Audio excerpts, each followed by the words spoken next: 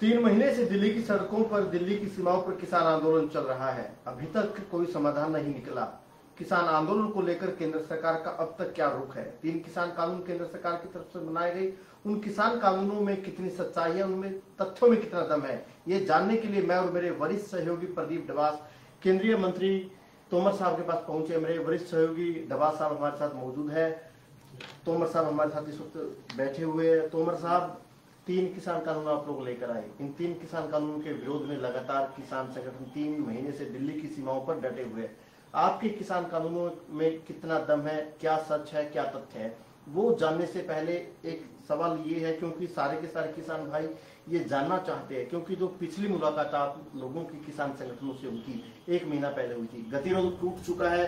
अब वो गतिरोध कब बन पाएगा कब दोबारा बातचीत हो पाएगी, क्योंकि सारे के सारे किसान भाई जानना चाहते हैं कि केंद्र सरकार बातचीत के लिए उनको कब बुलाएगी। हालाँकि आप लोग बार बार कहते हैं कि हमें एक फ़ोन की दूरी पर है तो क्या संभावना आने वाले दिनों में लगता है कि कब आपकी और किसानों की बातचीत होगी? विगत दिनों भारत सरकार ने कृषि सुधार बिल लोकसभा और राज्यसभा से पारित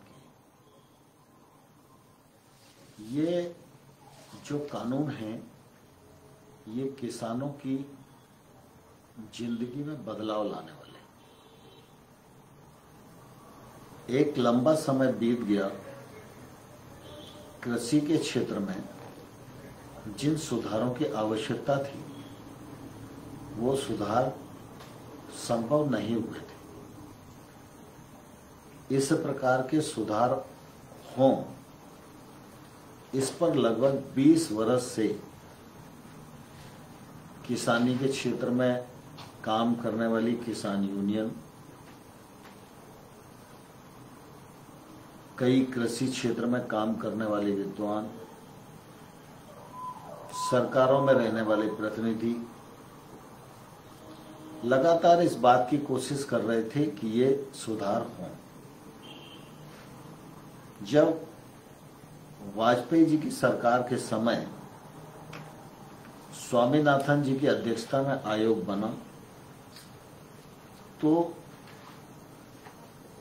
स्वामीनाथन आयोग ने भी इस प्रकार की रिकमेंडेशन की थी कि कृषि के क्षेत्र में निजी निवेश आना चाहिए और कृषि के क्षेत्र में जो बंदिशें हैं, उनको खोलना चाहिए। किसान को अपनी फ़सल बेचने की आज़ादी होनी चाहिए। फिर साथ ही साथ अगर हम देखें तो स्वायत्तकारी संगठन के नेता शरद जोशी, भारतीय किसान यूनियन के नेता महेंद्र सिंह टिकैत साहब, ऐसे तमाम सारे किसान संगठन हैं जो लगातार इस दिशा में मांग करते रहे कि ये कानूनी बदलाव हिंदुस्तान में किसान को फ़ायदा देने के लिए होने चाहिए। जब यूपीए की सरकार थी, उस सरकार के समय तत्कालीन प्रधानमंत्री मनमोहन सिंह जी, तत्कालीन कृषि मंत्री शरद पवार साहब, वह भी समय समय पर अपने वक्तव्यों के माध्यम से इस प्रकार के रिफॉर्म आए यह बात कहते रहे। वो पक्ष और यूपीए सरकार के समय महाराष्ट्र के कृषि मंत्री की अध्यक्षता में एक कमेटी बनी। मुख्यमंत्री जी उस समय हरियाणा के हुड्डा जी थे। उनकी अध्यक्षता में कमेटी बनी। इन सबने भी इस दिशा में अपनी रिकमेंडेशन की। यह अलग बात है कि उस समय जो सरकार थी, वो कुछ दबाव और प्रभाव के कारण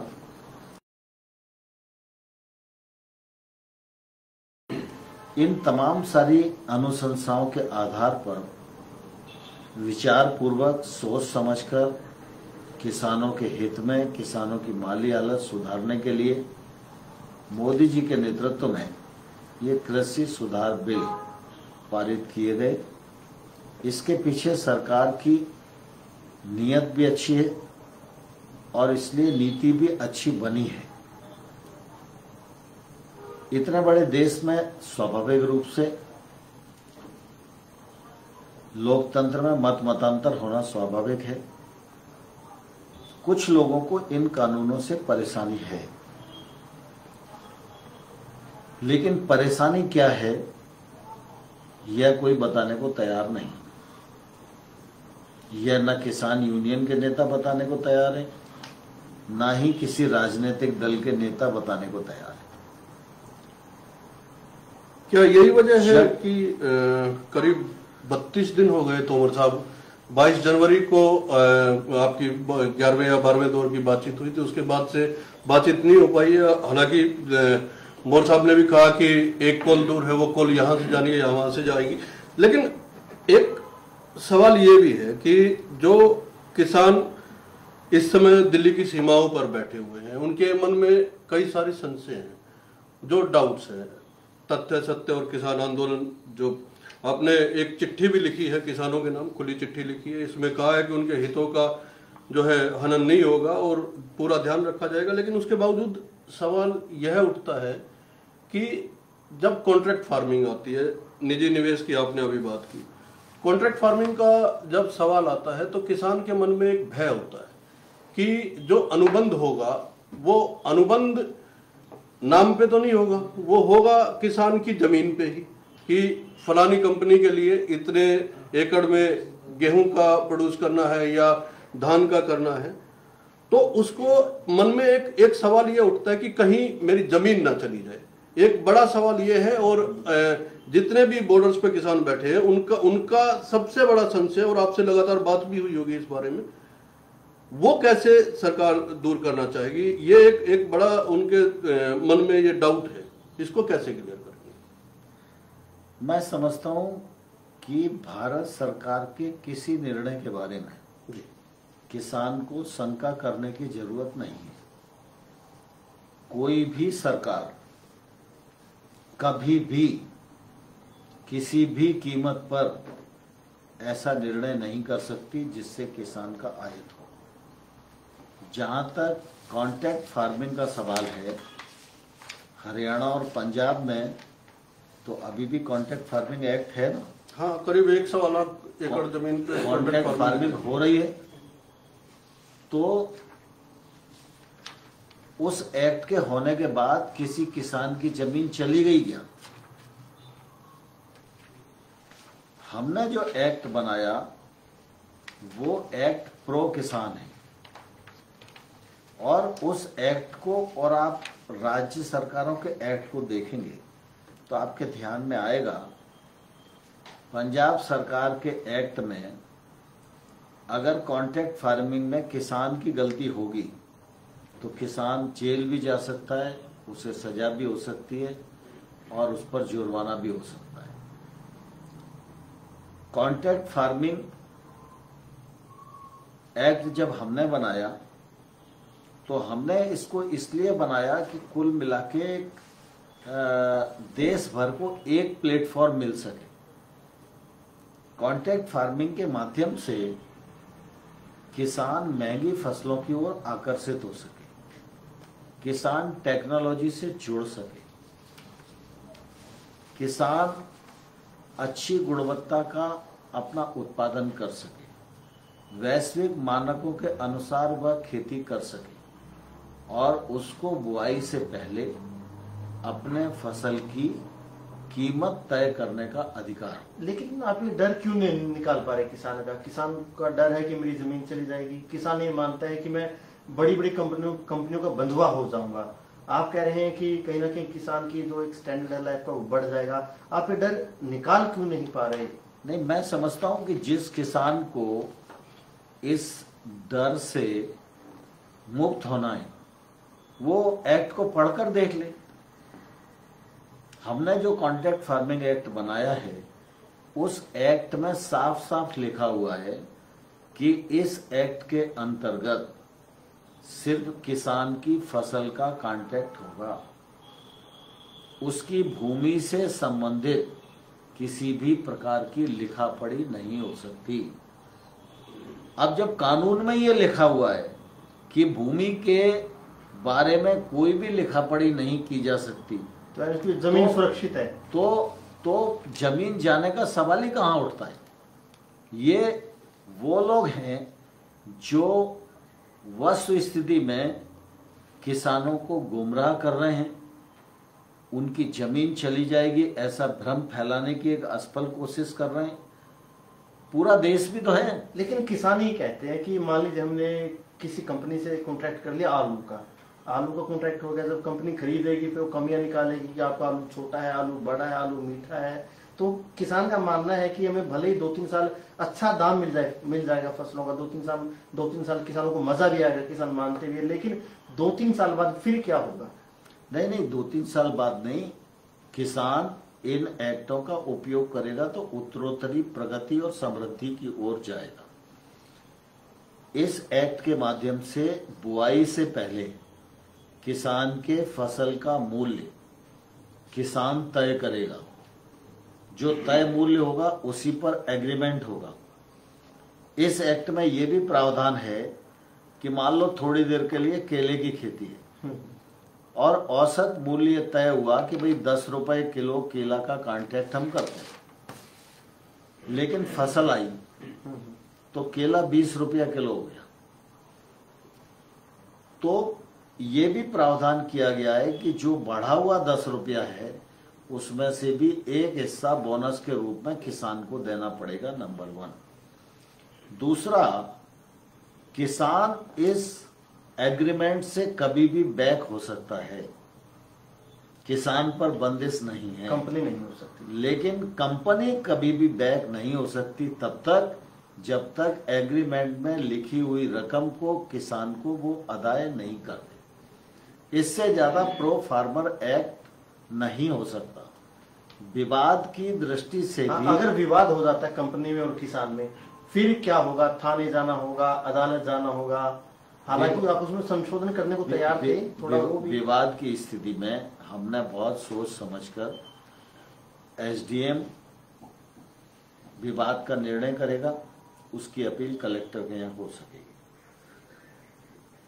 लोगों को ऐसा लगता है कि न्यायालय में जाने का अधिकार होना चाहिए। न्यायालय में किसान जाना चाहता है तो इसमें किसी को कोई आपत्ति नहीं हो सकती। लेकिन हम लोगों ने बहुत विचार पूर्वक एसडीएम को इसलिए रखा था कि किसान और गाँव के सबसे नज़दीक अगर कोई इकाई है तो वो एसडीएम है। एसडीएम को कानून में बांधा जा सकता है। कानून के माध्यम से एसडीएम को निर्देश दिए जा सकते और इसलिए हमने एसडीएम को कहा कि 30 दिन के भीतर आपको निर्णय करना पड़ेगा ये कानून में प्रावधान है। लेकिन संशय तो फिर भी बना ही और साथ ही साथ।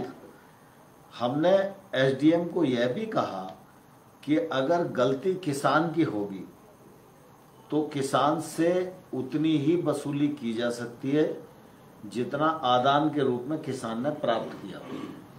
लेकिन अगर गलती व्यापारी की होगी तो व्यापारी से वो वसूली तो की ही जाएगी जो एग्रीमेंट में लिखी हुई है लेकिन उस पर डेढ़ सौ परसेंट तक का जुर्माना भी किया जा सकता है। न्यायालय हमारे देश में सर्वोच्च संस्था है। न्यायालय पर किसी प्रकार का प्रश्न नहीं है। लेकिन हम सब इस बात को भली भांति जानते हैं कि न्यायालय की अपनी व्यस्तता इतनी है कि कोई भी एक किसान अपने कुछ फ़सल के मूल्य को लेकर न्यायालय में जाएगा तो उसको कितने दिन में न्याय मिलेगा? वकील हम कोर्ट को नहीं कह सकते कि आप कल निर्णय दीजिए। एसडीएम को हम कानून में बाँध सकते हैं कि आप तीस दिन में दीजिए। तो तीस दिन में निर्णय आज देश भर में हो रहे हैं लोगों को पैसा मिल रहा है। तो इसमें किसी को कोई शंका होनी नहीं चाहिए। लेकिन शंका न्यूनतम समर्थन मूल्य को भी ले लेके है। किसानों का ये मानना है या फिर जो लीड कर रहे हैं इस आंदोलन को पूरे को उनका ये कहना है कि अनुबंध हो गया। ठीक है? कॉन्ट्रैक्ट फ़ार्मिंग में अलग से वो है। लेकिन जब अगर मंडी के बाहर कोई व्यापारी किसान से फ़सल खरीद रहा है और वो थोड़ा बहुत ज़्यादा भी दे के किसान से वो, क्योंकि उसको टैक्स नहीं देना पड़ रहा मंडी की तरह तो वो ज़्यादा दे के किसान से ले लेगा। ये व्यवस्था अगर छह साल, पाँच साल, सात साल चलती है, उसके बाद जब मंडियाँ धीरे धीरे खत्म हो जाएँगी। ये ये एक शंका जो है लोगों के बीच में है जो जो बैठे हुए धरनों पे किसान उनके बीच में भी है कि धीरे धीरे ये एमएसपी खत्म करने का आपकी ओर से कहा गया इस पत्र में भी आपने कहा है अपने इसमें कि एमएसपी है थी और रहेगी। लेकिन एक डाउट ये है कि एमएसपी कैसे रहेगी? जब प्राइवेट प्लेयर्स इस हद तक खरीदने लग जाएँगे उनको उनको टैक्स नहीं देना होगा वो क- किसान को ज़्यादा पैसा देके एक टाइम पे खरीद लेंगे एक लिमिटेड टाइम तक। उसके उसके आगे क्या होगा? जब मंडियाँ धीरे धीरे कम होती चली जाएँगी।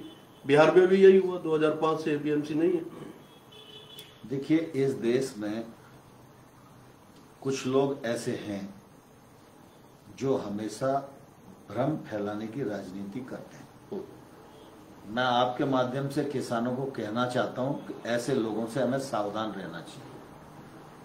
पिछले छह वर्षों में भी अनेक निर्णय ऐसे हुए हैं जो देश हित के हैं, समाज हित के हैं, राज्य हित के लेकिन उस समय भी उन लोगों ने अलग अलग चेहरा बदल के डाउट फैलाने की भरसक कोशिश की। जहाँ तक एमएसपी का सवाल है एमएसपी को हाउस के फ्लोर में जब मैंने कहा तो हाउस से बड़ा तो लोकतांत्रिक क्षेत्र में कोई दूसरा सदन होता नहीं। लोकसभा और राज्यसभा में मैंने फ्लोर पर कहा कि भाई एमएसपी थी, है और रहेगी। देश के प्रधानमंत्री ने कहा एमएसपी जारी रहेगी। देश के इक्यासी करोड़ लोगों को पीडीएस बांटना है तो वफर स्टॉक रखना ही पड़ेगा। उनको वितरित करना है तो एमएसपी पर हमें खरीदना ही पड़ेगा। ये हमारा कानून भी कहता है। ये सामान्य मानवीय को समझ में आने वाली बात है। एमएसपी खत्म हो जाएगी। ऐसा धर्म फैला के किसानों को गुमराह करने की जो स्थिति है, वह निश्चित रूप से दुर्भाग्यपूर्ण है और जो मूल किसान है, मैं उससे सावधान रहने की अपील करता हूँ। लेकिन जो जहाँ तक एमएसपी एपीएमसी मंडी का सवाल है तो एपीएमसी राज्य के एक्ट से बनती है। राज्य चाहेगा तो एपीएमसी रहेगी राज्य नहीं चाहेगा तो एपीएमसी नहीं रहेगी। एक बात राज्य के एक्ट्स को हमारा जो एक्ट है वो ओवरटेक करता ही नहीं। हमारा कानून किसान को इस बात की स्वतंत्रता देता है कि आप चाहो तो मंडी में अपना उत्पादन बेचो और आप चाहो तो अपने घर से, खेत से वेयर हाउस से कहीं भी, किसी को भी, किसी भी कीमत पर बेचो। हमने सिर्फ़ इतना किया है कि किसान की जो फ़सल है, उसकी खरीद बिक्री अगर एपीएमसी प्रेमाइसेस के बाहर होगी तो उस पर न तो राज्य का कोई टैक्स लगेगा, न केंद्र का कोई टैक्स लगेगा।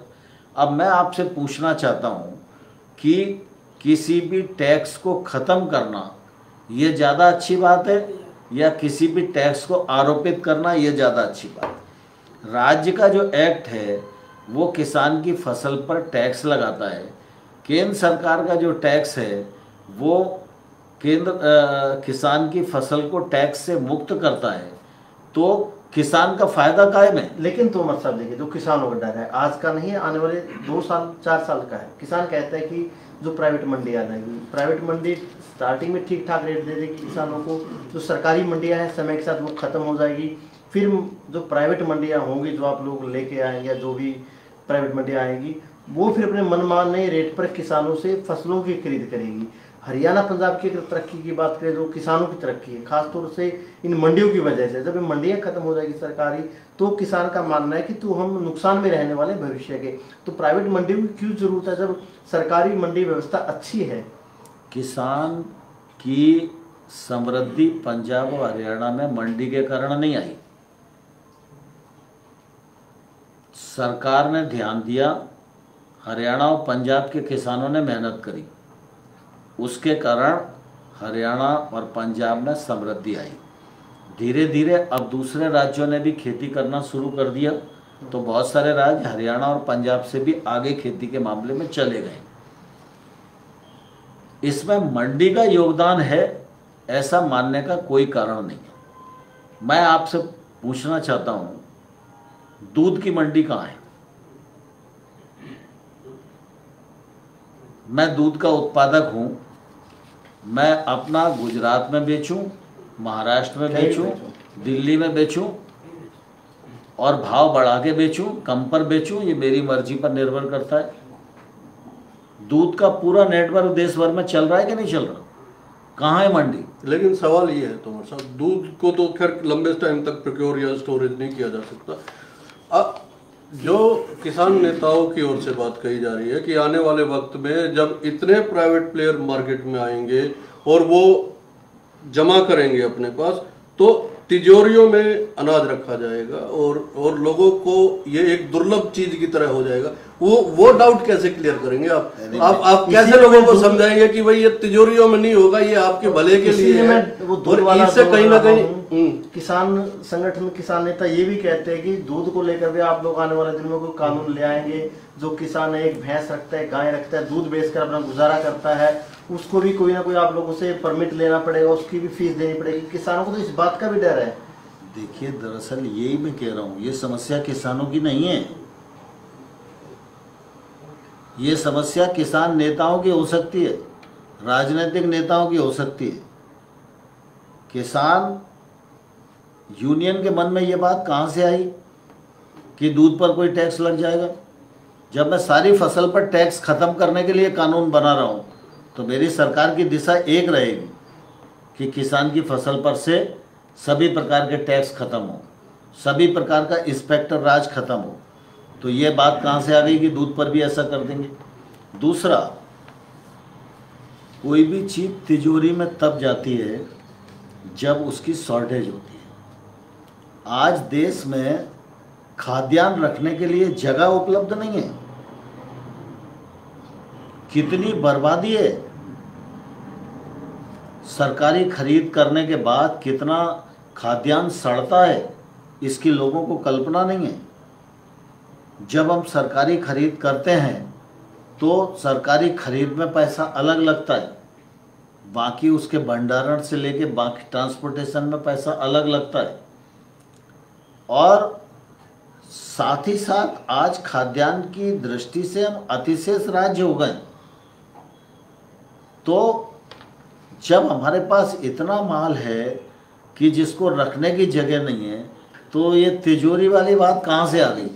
ये तिजोरी वाली बात उन्हीं लोगों के दिमाग में आ सकती है जो किसी कानून में दुष्प्रचार कैसे किया जाए इस चीज़ को खोजने की कोशिश करते हैं। यह बात किसान भाइयों को बहनों को समझना चाहिए कि दुष्प्रचार जो लोग कर रहे हैं उससे अगर हम सावधान नहीं रखेंगे तो अपने पैरों पर ही कुल्हाड़ी मारेंगे। आपने दुष्प्रचार की बात की गोडाउन की बात कर रहे थे भंडारण की बात कर रहे थे। किसान संगठन ये भी लगातार कह रहे हैं कि आप लोग एफसीआई को खत्म करना चाह रहे हो। भंडारण के लिए अंबानी अडानी बड़े बड़े गोडाउन बना रहे हैं। सोशल मीडिया पे वो तस्वीरें भी वायरल होती है।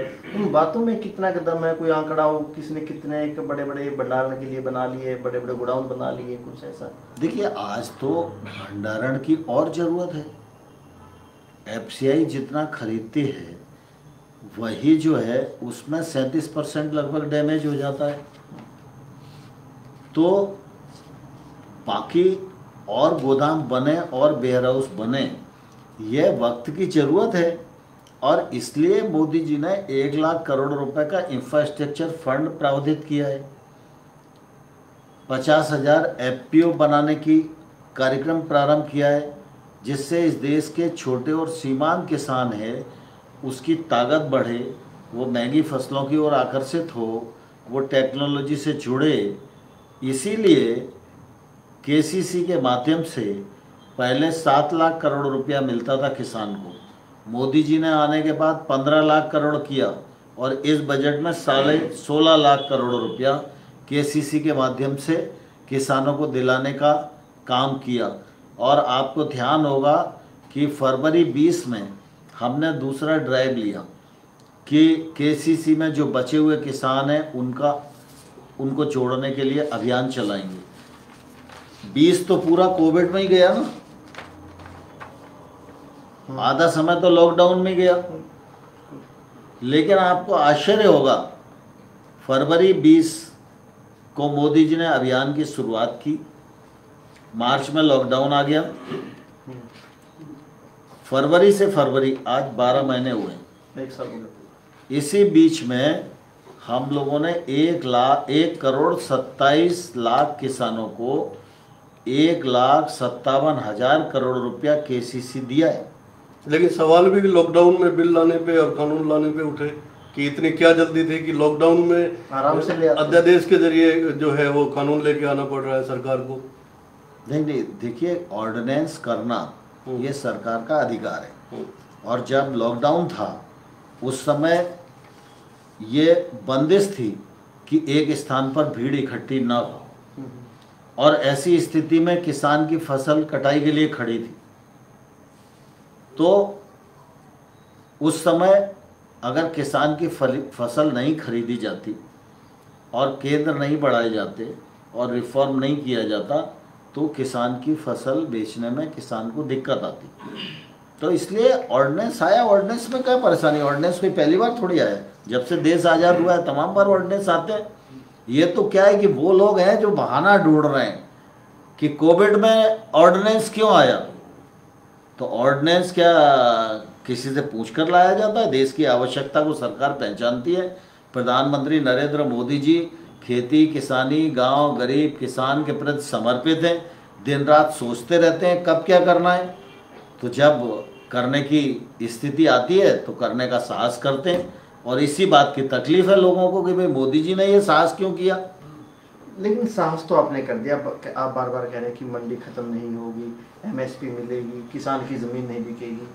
आप जो बातें बता रहे हैं लगातार आपके तमाम नेता भी बोल रहे हैं, प्रधानमंत्री बोल रहे हैं लेकिन किसानों को किसान नेताओं को ये सिंपल सी तीन लाइनें समझ में क्यों नहीं आ रही? दिक्कत कहाँ पे है थोड़ा सा? देश में करोड़ों करोड़ किसानों को ये बात समझ में आ रही है। लेकिन जो कुछ लोग कुछ लोग हैं। जिनका मोटिव दूसरा है। वो लोग मोटिव वो लोग जानबूझकर वो समझने को तैयार नहीं है। भारत सरकार किसानों के प्रति पूरी तरह संवेदनशील है। हमने किसान यूनियन के साथ बारह बार वार्ता की है। बिल्कुल की उन्होंने हमको ये नहीं बताया इस कानून में काला क्या है। हमने लोकसभा में राज्यसभा में सब पार्टी के नेताओं के भाषण सुने। वो गाली तो दे सकते हैं आपने पूछा लेकिन ले, काला ले, क्या काम लेकिन वो ये नहीं बता पाए कि इस कानून में काला काला क्या क्या है? और इसलिए मैं आज भी बहुत जिम्मेवारी के साथ ये कहना चाहता हूँ कि भारत सरकार किसान यूनियन और किसान आंदोलन के साथ संवेदनशीलता के साथ व्यवहार कर रही है। हमारी प्रतिबद्धता है। देश का किसान हमारे लिए सम्मान का पात्र है। वह अन्नदाता है। किसी भी सीमा तक जाकर हम उसकी जायज़ समस्या को हल करने में भरोसा रखते हैं। हम पहले भी वार्ता करते रहे आने वाले कल में ज़रूरत पड़ेगी तो सरकार फिर बातचीत करेगी। हमने किसान यूनियन के साथ बातचीत भी की। किसान यूनियन की चर्चा के दौरान जो बातें समझ में आई उसके आधार पर उनको निराकरण करने का प्रस्ताव भी दिया। उनकी जिद थी तो हमें लगता था चलो भाई किसान यूनियन की जिद है तो डेढ़ साल तक कानून को स्थगित रखने का भी प्रस्ताव दिया। लेकिन उसके बावजूद भी वो लोग नहीं माने तो हमने उनको कहा है कि अब आप क्या चाहते हो आप बताओ। रिपील के अतिरिक्त जो प्रस्ताव आपका हो वो प्रस्ताव अब आ जाएगा तो हम वार्ता कर लेंगे। यानी कानून वापस होंगे नहीं जो भी वो बदलाव की अगर संशोधन प्रस्ताव आपको देते उस पर ही विचार करेंगे। नहीं नहीं ये बात बार-बार ये ये बात ये बात मैंने बार बार कही है कि किसान यूनियन को कानून को रिपील करने के अतिरिक्त अतिरिक्त। जो भी प्रस्ताव हो वो बताएँ। किसान कानूनों में कौन सा क्लॉज है जो किसानों को तकलीफ़ पैदा करता है, वो बताओ। हम उसको संशोधन करने के लिए तैयार हैं। मैंने ये भी कहा है कि अगर सरकार संशोधन करने को, कानून को स्थगित करने के लिए तैयार है, इसका मायना ये नहीं लगाया जाना चाहिए कि किसान कानून में कोई खराबी है। ये किसान कानून किसान के हित में हैं, खेती को आगे बढ़ाने वाले हैं और आने वाले कल में समय इस बात को सिद्ध करेगा कि इन कानूनों के माध्यम से खेती के क्षेत्र का योगदान देश के जीडीपी में बढ़ेगा। जी। तो ये थे देश के कृषि मंत्री नरेंद्र तोमर जी जो कह रहे हैं कि आने वाले वक्त में इन कानूनों की वजह से खेत, खेती की वजह से खासकर देश की जीडीपी में किसानों का या खेती का योगदान बढ़ेगा, कृषि अर्थव्यवस्था का योगदान बढ़ेगा। साथ ही उन्होंने ये कहा कि सरकार हमेशा तैयार है किसानों के साथ पॉजिटिव बातचीत के लिए। उन्होंने कहा है कि एमएसपी पे संशय नहीं रहना चाहिए किसानों को। हालाँकि कितना ये संदेश उनका पहुँचता है किसानों तक